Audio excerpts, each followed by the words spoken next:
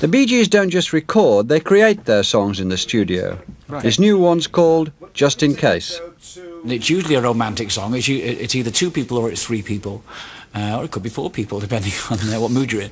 Um, in this case, it's a situation where the girl is trying to protect herself because it's a, it, it's really a girl's song, and in this situation, she's she doesn't want to give her heart away, so she's she's it's just in case.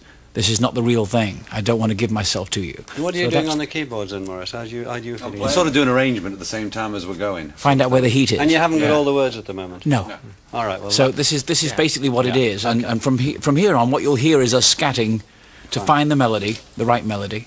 Maurice will very often come up with a chord we did not expect him to play, and in fact, sometimes it's something he didn't It expect usually to play. happens, in which case we usually kill him, And then I severely have, to, beat I have to find someone to tell me which one it was. Yeah, right. was it the black ones or the white?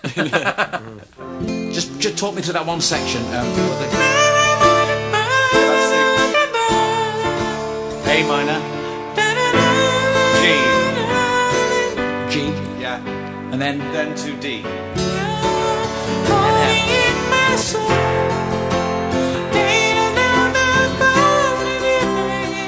The D minor. Oh, no, no, it's not. no. What was that? I think it's B flat. Was it?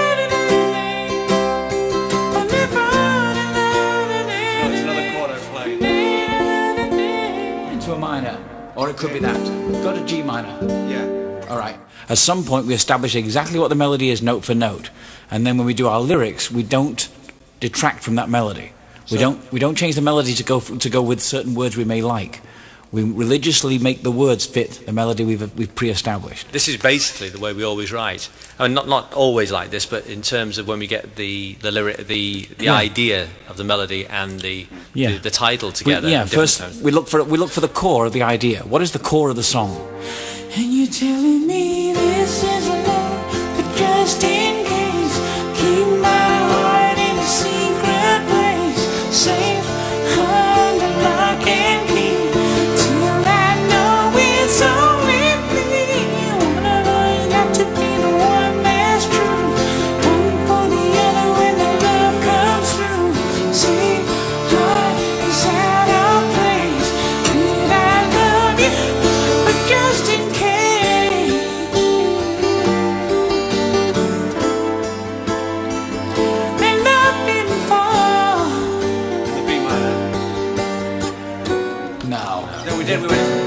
B minor. No. B flat. No, B. Hello. Okay, Yes. B yes. flat minor. Yeah. Because Right. the- Oh yeah. Yeah, that's what I said. the words that are there, how have they arrived there? Are all the words there? Are these just words that... In this case, um, it was just those first few, four lines. This is love, but just in case, I'll keep my heart in a secret place, safe under lock and key, till I know it's only me. And that thought in itself really gives is the whole message of the song. I think the verse is actually shaping up pretty good. I think it just needs to be cleared up at the end of the, the choruses. Can you mm. show us the bit that isn't working and tell Right. us what you're going to do about it? One for the other and the love comes through. Sing, wine, and out of shame. Right there, we've got to find something else. Right. So what are you going to do? What are you going to do about finding something Well, we had something we actually did before, which was when we went to the G minor. Oh yeah. Then the, then the Yeah. B minor, B flat minor. Right, and that takes you back to the verse again. And none that. Yeah. We had That's, that's a like that. possibility. That, could Yeah. work. Yeah. And We'll once just- we've yeah. established that, then it's ready to to sit down and write lyrics to. The DAT's always continuously running with the ideas as we Yes. go down. Then when, once we get a sort of format of the idea, then we'll put it in a sort of rough sketch and take that tape with us or and make a cassette of the last or last 20 minutes of writing and uh, go to Barry's place, sit down, play it, listen to it, and then we all start uh, thinking of the, the storyline, where it's going, you know, and so forth. The important thing about uh, a, a good quality song is that you the statement has to say everything within a few words. And I think that's what we're looking for, to say a lot in just a few words simply, so that everybody can relate to it.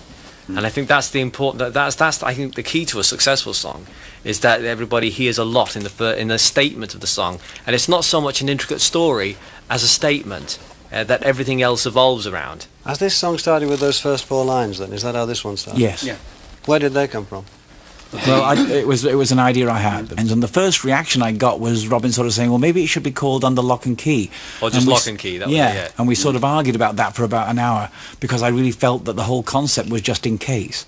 That's really what you're talking about, somebody playing safe, and and so I believed that that was right, you know, and um, and Robin believed that lock and key was might be better. So we argued about that for a while. And we kept arguing and we came to blows.